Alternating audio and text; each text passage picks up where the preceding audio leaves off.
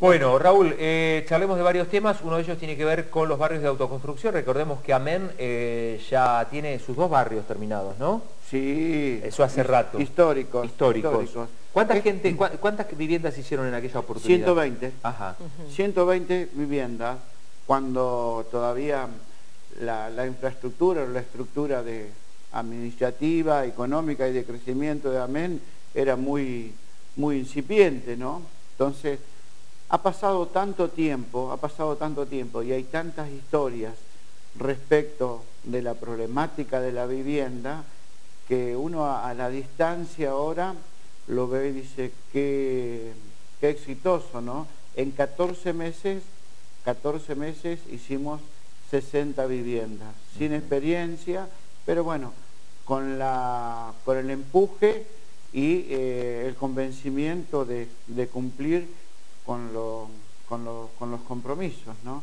Y en esa época el, Instituto de la Vivienda nos daba un importe que no era mucho, pero eh, en esa época se, cumplían. Año 93, 94, y después el segundo barrio lo hicimos también eh, en medio de una crisis que fue la crisis del 2001. Correcto. Y bueno, en ese momento, eh, cuando se suspendieron todos los pagos, nosotros terminamos las viviendas con aportes propios y después, bueno, después de una negociación, el instituto nos reintegró algún dinero por el reconocimiento de mayores costos, pero bueno, de ahí ha pasado mucho tiempo y hay tanta historia. Y, hay algo que yo personalmente y me parece que, eh, que tenemos que ser sinceros por lo menos yo trato de hacerlo y me parece que corresponde. Ahora que estamos, eh, y después te voy a contar lo que estamos por iniciar allá, continuación del procrear. ¿Y por qué no lo contás ahora? Digo, continuación de Quintana y Buenos Aires. Sí. Nosotros compramos casi una manzana de tierra y ahí hoy tengo una reunión con dos empresas y creo que el miércoles estamos empezando las obras. Ah, qué buena noticia. Lo que pasa que son obras, ya hoy hemos perdido un poco la noción de los montos, ¿no? Pero mínimamente es una obra de 3 millones de pesos que tiene que ver con la infraestructura de agua, cloaca, gas y, y cordón cuneta y estamos, lamentablemente, estamos atravesando, eh, yo diría que esto es más que una tormenta, ¿no? Es un tormentontón, como decíamos en el campo. Pero bueno, cuando... Mm, este es uno de, los proyectos que a pesar de la crisis, que a pesar de la crisis estamos, estamos comenzando. ¿Y qué digo con el tema del, del procrear?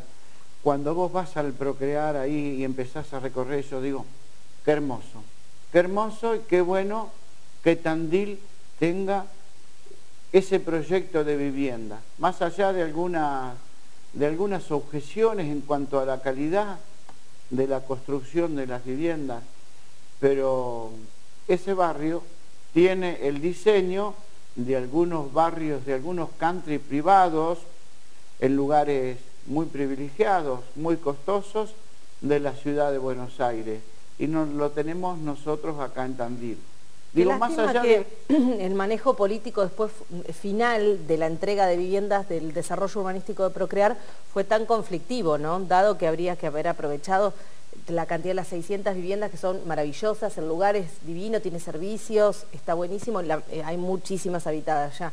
Pero qué lástima que esta última tanda de entregas vino tan conflictuada, ¿no? Con la necesidad de suelo urbano y de viviendas que hay. Sí, no solo la, última etapa, yo creo que siempre, siempre estuvo, eh, siempre tuvo situaciones eh, no muy claras siempre tuvo situaciones no muy claras. Bueno, pero al principio el sorteo que fue público en la UNI fue totalmente claro y por lo menos la primera vos te, referís, te referís a eso. Yo, yo me refiero a todo el conjunto que tiene que ver también con los montos que se empezaron a cobrar eh, al principio, ¿no? Mm. Y después, bueno, cuando eh, había algunos problemas de construcción con una de las empresas, que algunos de los adjudicatarios eh, en esa participamos y nos reunimos mucho para lograr que les adjudicaran otras viviendas que pertenecían a otra empresa y que estaban en mejores condiciones y, tenían que cambiar los montos y demás. Pero digo, más allá de eso, más allá de eso, y estoy de acuerdo con lo que vos decís, que ¿por qué con la necesidad de viviendas que hay no se hayan adjudicado en forma rápida y se hayan dado el destino que tiene que tener, ¿no? digo, la calidad, la calidad, digo, eh, dejemos, de lado, dejemos de lado cualquier situación política, digo, Tandil se benefició con un proyecto constructivo de vivienda, con un diseño, con un diseño, esas calles grandes, espacios verdes, realmente, realmente eh, maravilloso. Y lo otro con el tema de autoconstrucción, ¿te acordás cuando el municipio dio 176 terrenos allá por la zona de la Movediza y demás? Nosotros participamos con Amén y nos tocaron 20 terrenos.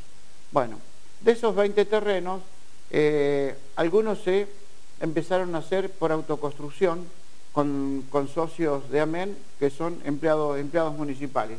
Bueno, Ahí estamos, hemos tomado la decisión de darle, de darle un empujoncito, porque bueno, autoconstrucción, los chicos tienen que poner su mano de obra, más el apoyo nuestro, y comprar los materiales, ¿no? No es cosa fácil teniendo en cuenta el incremento que han tenido los materiales.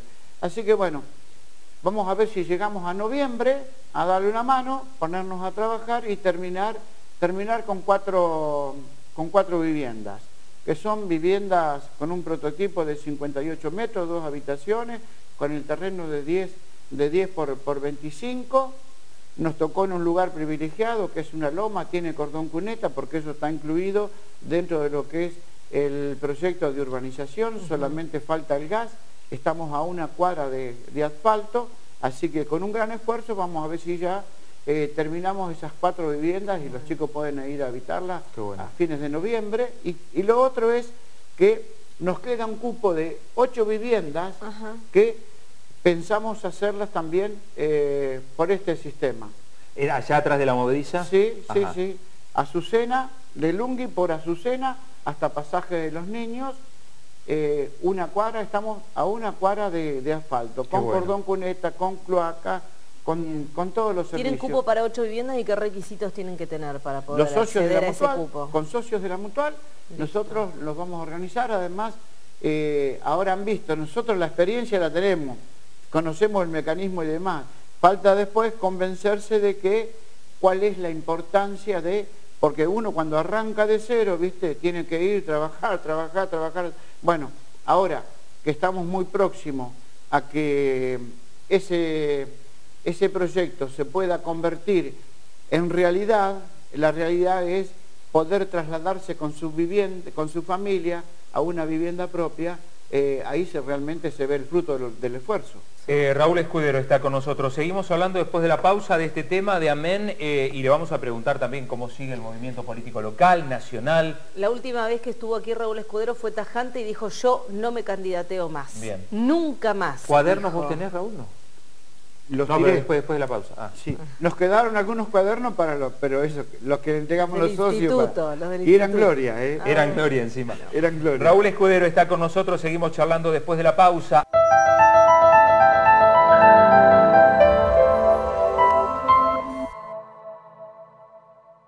Estamos aquí en Tandil Despierta compartiendo el desayuno con Raúl Escudero, pero si lo tenemos acá de una cuestión de política le tenemos que preguntar. Eh, por supuesto, ¿Eh? ¿Eh? por supuesto. Él fue tajante. la vez pasada nos dijo, yo no me candidateo nunca más. Pero queremos saber de todos modos, confirma esa postura, pero queremos saber, Raúl, por lo menos qué piensa de todo lo que está sucediendo políticamente. Vamos a empezar por lo local, porque lo nacional hay mucha tela para cortar. Mamita, qué decir. Mucha hoja para recortar. Qué desastre, ¿no? Qué desastre. Y en el, en el orden local... ¿Por eh, qué, Raúl? Para el que no había escuchado la vez pasada, ¿por qué decidiste no candidatearte nunca más? ¿Qué es lo que pasa? porque esto, esto tiene que ver un poco con, mi pensamiento, con mi forma de ver las cosas. Yo digo, hay que participar en política porque me parece que es una responsabilidad, porque aquel que tiene inquietudes, que tiene ideas, que tiene observaciones para hacer, me parece que la política es el medio a través del cual se puede transformar eh, las necesidades de la gente a través de la gestión política, ¿no? Vos la podés tener para bien, para mal o regular y tenemos, y tenemos los resultados. Entonces me parece que es una obligación y una responsabilidad participar, porque si no, les dejamos los lugares a determinados personajes y después nos va como nos va. Sin embargo... claro, si pensabas eh, eso... Entonces, viste, llega un momento donde uno... Eh, no sé si decir eh, que estoy cansado, porque, primero, a mí me cuesta mucho por, mi actividad, por, todo la, eh, vinculado con, el fútbol, con distintas actividades sociales y demás, mi forma de ser y demás, tiene que ver con la actividad política, pero en este caso tiene que ver con la actividad política partidaria. Eh, uno llega a un momento donde, donde se desgasta, tiene cansancio, eh, cree en valores, en valores y en actitudes que después eh, no, no, se condicen con la realidad. Entonces, me parece que llegó el momento de dar un paso al costado. Sí, voy a seguir participando. Yo soy peronista y me siento orgulloso de ser peronista Creo que ya con lo ideológico no alcanza, creo que hay que tener una apertura y más allá de lo ideológico lo que hay que converger son con personas, con personas que tienen un criterio superador, por ejemplo, fundamentalmente en el caso de Tandil, en el caso de Tandil, me parece que una ciudad como Tandil hoy tendría que tener eh, una visión política superadora, a este proyecto que, exitoso para el radicalismo de Tandil lo encabeza el, doctor Lungui. Me parece que tendríamos que tener un proyecto superador que vaya más allá del turismo, que vaya más allá de lo estético. ¿Y el peronismo está en condiciones de darle eso a Tandil, algo superador, hoy por hoy? No, tenemos que, no, yo digo, lo siento, Cambiemos no se lo está dando a ese proyecto, nos hemos quedado en una cápsula en el tiempo y en estos 15 años han pasado muchas cosas en Tandil. Y digo, por ejemplo, con tanto presupuesto que hemos tenido, ¿cómo puede ser, no le podemos echar las culpas a nadie, que en Tandil tengamos las calles en el estado que, que, están? Por ejemplo, eso, ¿a quién le vamos a echar las culpas que mínimamente en Tandil no podemos garantizar que recogemos la basura, algo tan elemental como la basura?